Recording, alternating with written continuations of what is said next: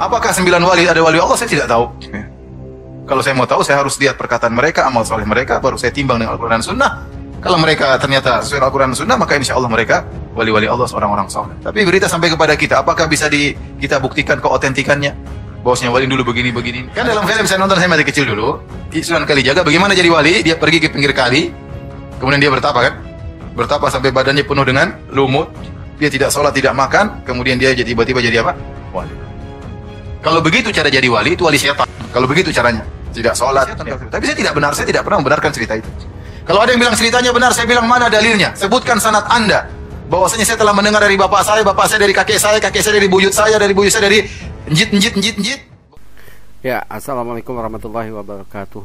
Itu sedikit cuplikan ya tentang uh, ceramahnya uh, Ustadz Firanda Andirja yang menyatakan bahwa uh, Sunan Kalijaga adalah wali setan.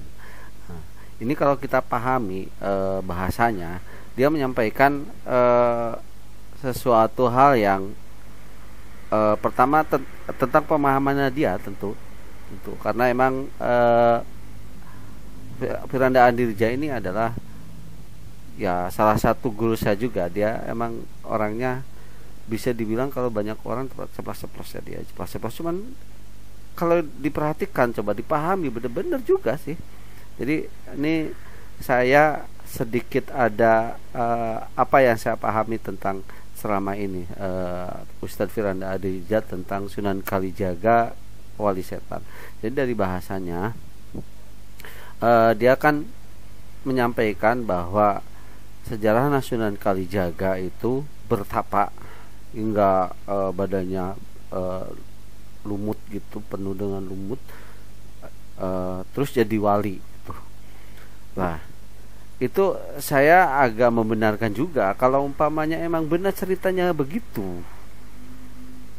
Ya, kita melihat nabi kita Rasulullah Shallallahu alaihi wasallam nabi kita saja ya gitu yang panutan kita kan nabi Rasulullah Shallallahu Alaihi Wasallam dia juga sholat tetap sholat ya gitu bahkan uh, ada sebuah riwayat hadis tentang begitu saking senangnya sholat gitu bengkak bengkak kakinya gitu dari hadis yang diriwayatkan oleh Siti Aisyah gitu. Karena itu tentang kaitannya dengan bersyukur. Itu nabi kita loh gitu. Kok kok ada ya yang disebut wali? Wali gitu ya. Waliullah disebutnya waliullah itu nggak sholat gitu. Mungkin agak mirip-mirip ceritanya kayak uh, apa saya Siti Jenar mungkin ya mungkin. Uh, sebetulnya saya juga ceritanya nggak begitu tahu. Cuman berdasarkan beberapa hal ini saya, saya pingin banyak uh, saya pingin mengeluarkan pendapat saya tentang hal ini. Dalam artian kalau memang begitu ya ya nggak pantas juga gitu.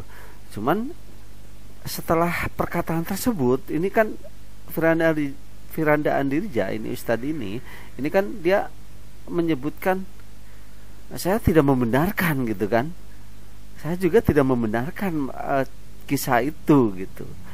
Jadi uh, bagi yang apa ya uh, maaf juga ya maaf juga bagi yang apa namanya kurang paham dengan sesuatu yang disampaikan uh, mohonlah uh, dipahami dengan tingkat keilmuan gitu. Kalau saya sih sedikit agak membenarkan juga gitu.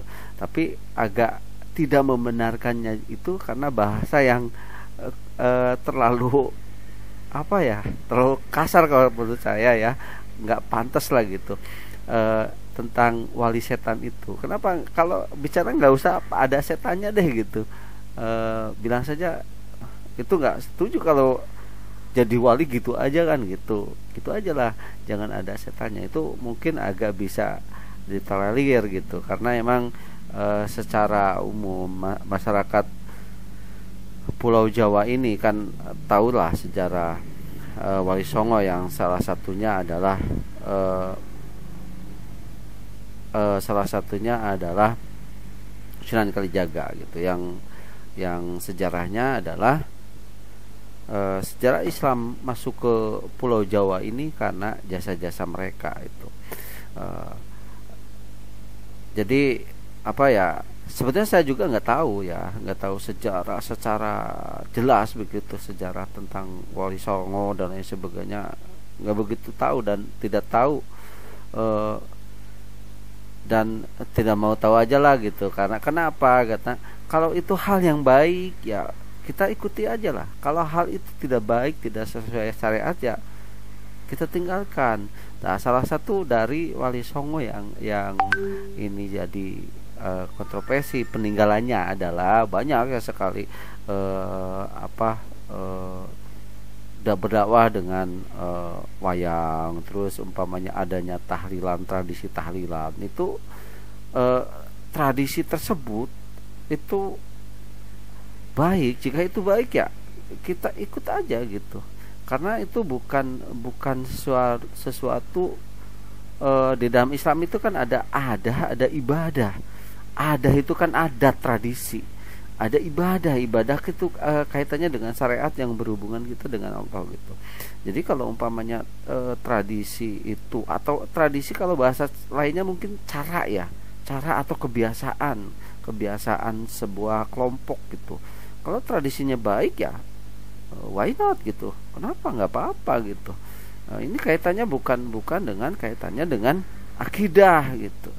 Sekarang kalau ngomong-ngomong masalah uh, Wali Songo tentang Sunan Kalijaga emang apa hubungannya dengan akidah kita gitu? Nah ini kalau ada hubungannya dengan akidah umpamanya contoh contoh ya uh, dengan adanya Wali Songo lebih mengagung-agungkan Wali Songo daripada Nabi kita nah Rasulullah Wasallam. Ini bahaya jangan gitu itu jangan.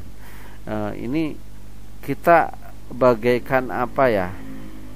E, mungkin bisa digambarkan dengan cara lain seperti seorang guru yang mengajarkan keilmuan kepada kita. Kita harus menghormati guru kan, guru. Di, di berbagai e, bidang ilmu lah. Kita harus menghargai guru, tapi tetap dalam konteks akidah tidak boleh. Guru itu lebih utama daripada Rasul dan Allah dan Rasulnya gitu.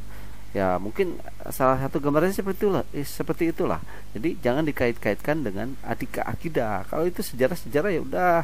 Kalau itu ada ada adat tradisi kebaikan apalagi hanya sekedar informasi hanya sekedar sejarah gitu ya udahlah gitu nggak usah ramai nggak usah saling menyalahkan. Uh, pahami saja secara uh, jernih gitu. Makanya dalam Al-Quran sebutkan uh, la ayatin liqaumi yatafakkarun. Ini kak inilah tanda-tanda agar kamu berpikir. Jadi setiap kejadian setiap situasi kondisi ataupun apa pun yang terjadi jadikanlah hal tersebut berpikir. Kita berpikir kok bisa ya? Kok kenapa begitu ya? Gitu berpikir. Jangan jangan langsung menghujat oh salah. Oh ini begini gitu. Jadi uh, begitulah. Jadi intinya intinya saya antara antara setuju dan setuju dan tidak setuju ini dengan uh, Ustadz Firanda Andirja tentang masalah uh, Sunan Kalijaga ini ya.